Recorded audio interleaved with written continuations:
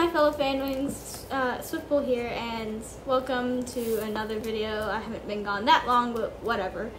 And today I have a little OC template for you to use. I made it because I've been slowly chipping away at this big project that includes a lot of different OC refs.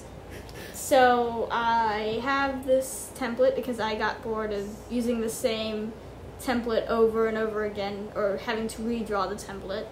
So here it is, and that's all I have to say. Bye.